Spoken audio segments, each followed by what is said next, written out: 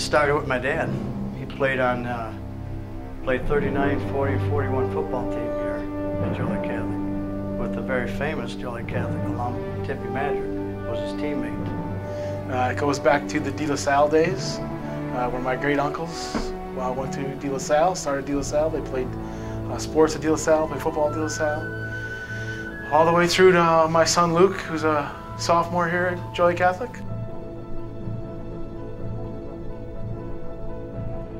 Well, I knew it was going to be hard, right? Football is hard. Um, but ever since I could walk, I feel like I always wanted to play football at Joliet Catholic, so I had to give it a shot. Um, and all my friends were playing, and, and it was fun. It was a lot of fun. It was as, as fun as it was hard. Um, and uh, basically, just getting to play freshman football at Joliet Catholic was was an honor, uh, if I'm being honest. I, you know, we we, we, never thought of it as a chore or a task or it was too hard. It was just how competitive can we be with one another. And that was the kind of group we had. We were so competitive with one another. You know, but there was no doubt from the time that I was a, a little boy that I was going to be, you know, wearing the, the brown and white one day. And uh, we had a lot of tradition here at, at Joliet Catholic and they, you know, they love their experience so much that that's pretty much all I heard about growing up. And, and um, I couldn't wait to, to one day be a part of that. But I remember growing up, uh, my brothers would play, we would watch the old VHS tapes of the 87 championship game, the 90 state championship game, the 92 runner-up. We would watch those tapes and um, just had a lot of fun doing it. So, you know, certainly my goal was always to win a state championship. You go to Joliet Catholic and, and you were expected to be at that level and play at that level. I was like honestly I was like a little nervous because I was like I didn't know like if it would be if I would fit in and like be good enough because like I said I started playing football in eighth grade. When I first got here, I was blown away in terms of how much work I had to do to be on the level of the guys that I saw that were seniors like Brandon Geis and Connor Krish, Tyler Huditz,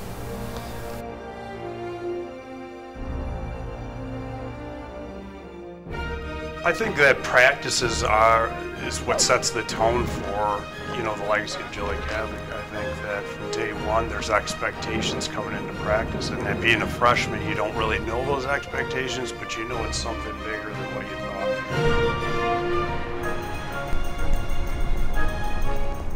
It was like a playground area up north, a couple of miles because we used to have to run there.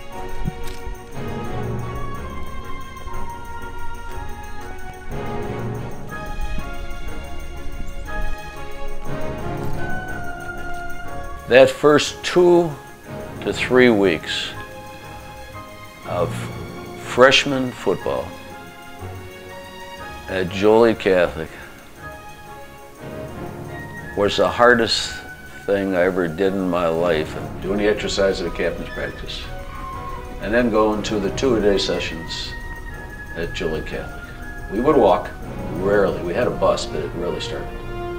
But we would walk from Jefferson Street, either to Farragut or Garnsey Park for practice.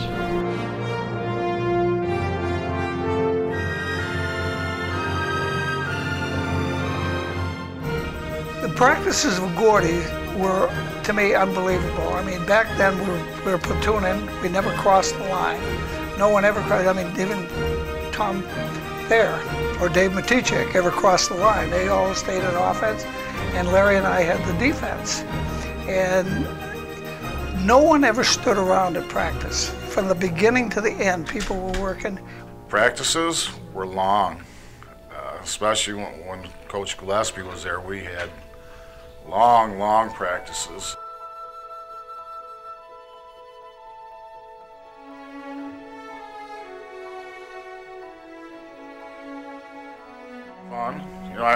You've probably heard the stories about when you get into the playoffs where the parents would pull out their cars and turn their headlights on so that we could practice out there. I'm sure you've heard all those stories. So that was part of that. Go. Right on your drive. Now you see how that's going to be able to seal it. We all drank out of the same water cooler. We all used the same ladle. Nobody got sick. You know, we didn't worry about people spraying water into our mouths or anything like that. So times were different back in the 60s. 50 guys, you know, changing in the middle of a parking lot to go out to the field to, you know, practice on the patches of grass around the stadium field so we can keep the stadium grass, you know, kind of fresh for the games. You know, we went full speed pretty much every day, all the time. so it was, yeah, it was, it was a lot of fun. Good pack, good.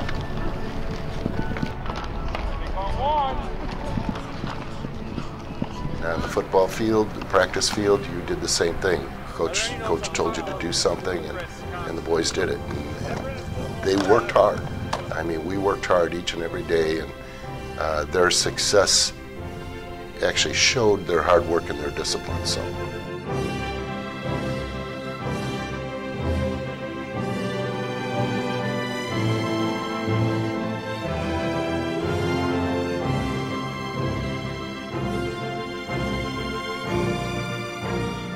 Working with him, you were fired up every day. He got you fired up every day. They're afraid of nothing. On a football field, I think it makes a difference when it's fourth and one. You know, whether we're going to stop or whether we're going to go in. I think that is the difference. or something that we can reach down for. Coach takes his team out to practice in weather like this. Gillespie knows the game may be played under similar conditions, and it's best to get used to them. Now, the quarterback threw that. When they had the Hall of Fame, he was in the first class of the Hall of Fame inductees. Yeah. And I had a chance to go over and speak with him briefly uh, just before he left. And the only thing Coach Gillespie looked at, he grabbed my hand, he said, keep coaching. Just, um, he had just, I mean, he had such a way of grabbing your attention and making you feel like you were, you know, on top of the world. Uh, Coach Sharp is one of my favorite people in the world. He's, uh, um, you know, he's a coach, he's a mentor, he's a friend. Um, he's just a guy that, that you want to be around, you want to listen to him talk. Every play is a touchdown. I mean, uh, you know, if it's blocked right, if it's done right, every play can be a score. Every play should be a score. Um, you know, we heard that one a million times. You know, pushing yourself to the limit. Um, Francis and, and, the group there were just incredible coaches and mentors and would drive you harder than you thought you could be driven. They, uh, uh, they create an environment where you just push each other to get better. Um, and, uh, and it was great. It was one of those things that I don't, I don't know that other teams have that. I don't know that other programs have that. There's so many people that I look up to because, like I said, all everyone that has been here has helped me so much. And uh, one of the guys that I didn't mention, like uh, Coach Mack, he was my D line coach, and Coach Kinsella. They both, they both helped me so much. Like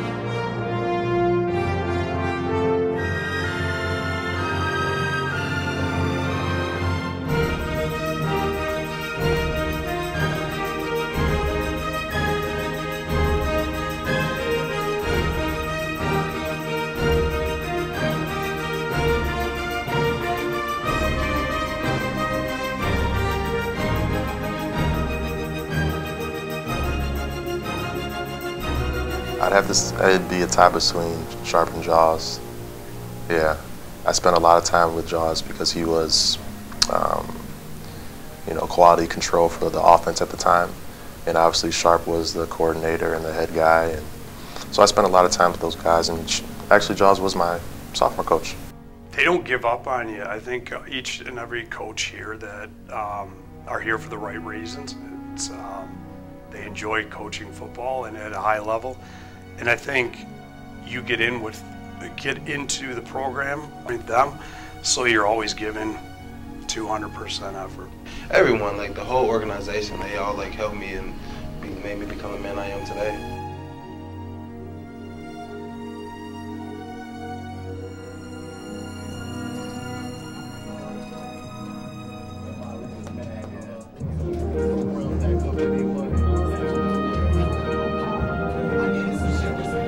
Just thinking, like, that's what I want to do someday. I mean, I have a distinct memory of, you know, sitting in Joy Memorial Stadium with a hot chocolate sitting next to my dad, watching these guys come out with this victory light on the side of their helmet thinking, you know, when do I get a chance to do that? Yeah. Going into a game in high school. A strong desire to perform. and to uphold the legacy that was laid before me, especially coming after that state championship team.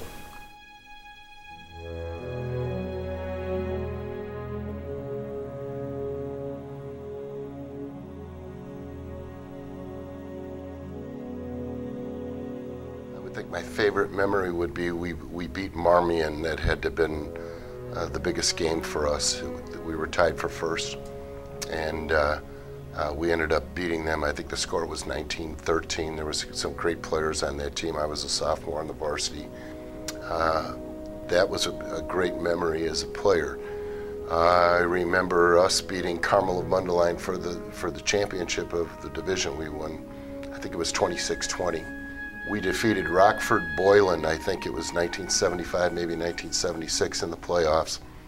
Great game, eight to seven. We stopped them at the two-yard line at the end of the game to win, and then we went on to win the state championship. That game was in the semifinals. yelling two, two, two. Phelps over the tailback. Here's Pesavento. He's going to try and run. Pass into the end zone. It to Mackey. They all looked, and Mackey was all alone. Tim Mackey, I think it was, and he is just embraced by Dennis Hennessy. This place is going crazy. Tim Mackey was all alone in the right-hand corner of the end zone, and Pesavento delivered the ball. The Hilltoppers go crazy, and Rockford Boylan is stunned. What's going to happen? We we had to make it. We were almost benefited from them getting to the five-yard line and having that short field to work with because they were so used to throwing the ball 30 yards downfield. We were big down there. There weren't a lot of room for those guys to run. So we got down to the five yard line. They missed the pass to the receiver, Satone Powers, in the first play. That was a walk in touchdown. The second play, I believe it was an incomplete pass. I could be wrong. I think it was an incomplete pass. The third play, I actually got some pressure up the middle and made Brasic uh, scramble, and Meinerich actually had to come up and make the play to tackle him at the one, and the clock was running. And I'll never forget this because all of us at this age, we never been in a spot like this. We knew the ball was getting out, so we literally stood up and we saw the ball go, and I couldn't see anything over there. I mean, it was the longest second ever. He snapped that ball, and I saw Meinerich dive, and how he made that play, I will never know. Oh my God! A tremendous defensive play out there. Chris Meinerich in the end zone knocked it away. The Joliet Catholic Hilltoppers will move on to the state semifinals. Can you believe this finish? Take another look. Brasic with no time on the clock throws the ball the intended George and what a play number nine Chris Meinerich oh my lord the play of the game I'll tell you that was the uh, whatever we did we were very competitive little boys you know getting over being tired hurting losing or an injury whatever it might be there's no quit you know it's something bigger than what you thought and I think that for me it was it was great because from the first minute that we started practice that it was give give it your all because that's what you saw and you saw that from the varsity practices to sophomore and freshman that people were there for a reason and the reason is to win and to win championships. I remember I broke my nose at one point and had to have a nose you know, mask or whatever on it. Nobody else ever had one. It was like a strange thing.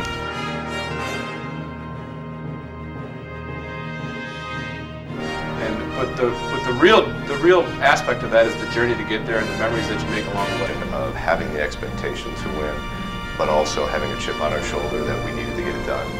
Um, and uh, so that really drove us. You know, we, we kind of felt like the underdog. People were counting Joliet Catholic out.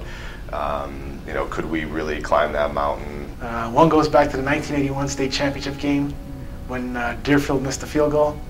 And the whole, there's always pictures of it. You see all the guys coaching the sideline until they missed it. So that was kind of a, a cool thing. Uh, Incredible hostile atmosphere, hostile environment. Um, both teams absolutely hated each other. Um, and really a big, big tilt, right? So you have, you have probably two of the best teams in the state going at it. Uh, and it lived up to every expectation. I, you know, in the trenches, um, you know, great line play, uh, real tough kind of smash mouth football game. Um, you know, fans cheering against you. Uh, you know, as many fans from Morris there than there were from Joliet Catholic. Uh, it was incredible. It was an incredible environment and a game I'll remember for the rest of my life. Leave. Yeah, exhausted. Thanks. Exhausted. I've never been more physically exhausted in my entire life. Game, our season's over. Um, and uh, I remember in the huddle, you know, talking with the guys, who's going to jump, who's going to jump, who's going to drive the line. Um, and they snap the ball, and you just give everything you possibly got at a rush or a jump or something. And watching that ball as you look back fall short of the goalpost, incredible feeling, incredible feeling, just elation.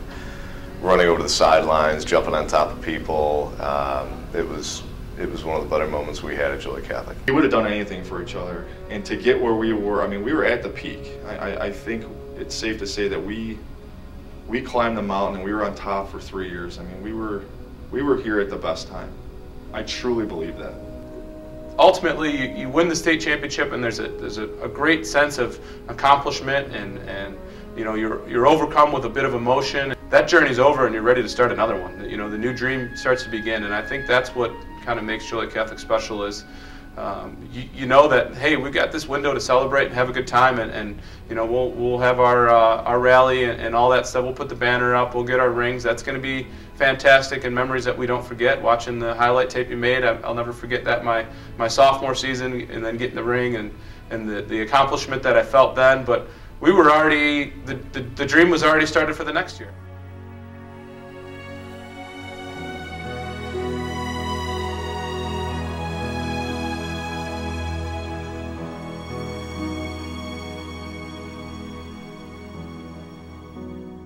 then pulling back into to, to Joliet Catholic, the old school, the victory light was on, and we'd all cheer that the victory light was on, and we'd sing the school song, and you know there was so much camaraderie. I think that was the biggest thing at the end. Last year, literally, was you know before even the turn the light out became a thing. It was don't let turn the light off. To be part of a dynasty and to be part of hey Joliet Catholic is the place to be. I, I mean it was special.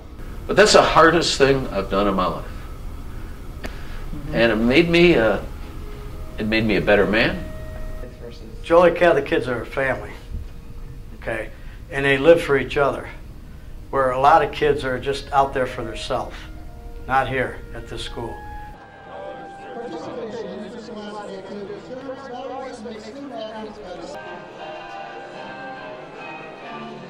Um, they don't understand it, but you know, it's it's something that it'll never die within within me. The the, the things that were instilled in me, the the, the camaraderie, um, you know, all that stuff is, is something that I'll hold on to and, and, and reflect back to um, as much as I possibly can. So Lou Holtz says this about Notre Dame, and I feel the same way about Joliet Catholic. Lou Holtz will say, if you're Notre Dame, no explanation needed. If you're not, no explanation will suffice. I feel the exact same way about Joliet Catholic.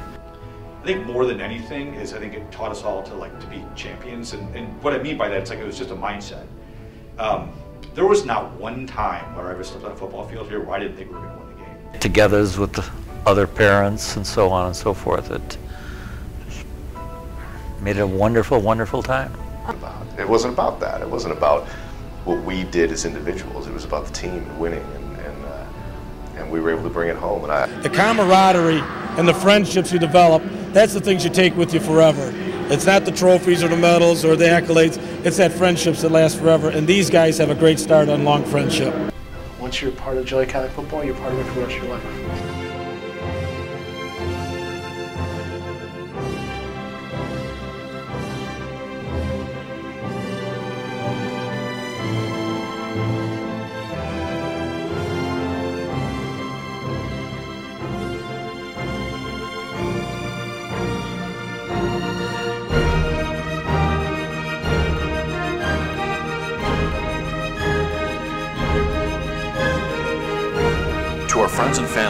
Our Joliet Catholic football program, I'd like to extend a hand of gratitude to all who have made the first hundred years of Hilltopper football a century of excellence. Tireless work ethic, perseverance, accountability, and what it means to be a great teammate. We are a program built on family, Our success has always relied on the team, not individuals. All players committed to a team approach, each doing their part to the best of their abilities. Each player working side by side for something greater than himself. We were taught these lessons of life through the game of football and our coaches, which has helped develop us into the men we are today. Our experiences as part of this program are second to none. Nothing compares to wearing the brown and white. Regardless of the results on the field, we are all champions in life. Thank you to all. Go Hill.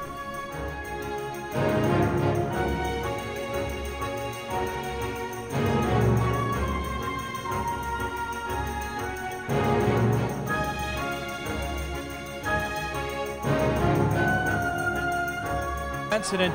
Guys, tell me about the prayer. Does it get you guys fired, Father Ray's in the middle of the huddle, giving you that prayer? Uh, the prayer definitely gets me fired up before the game. Uh, Father Ray gets us all going, keeps us humble with the prayer, but also gets us excited for the game. We are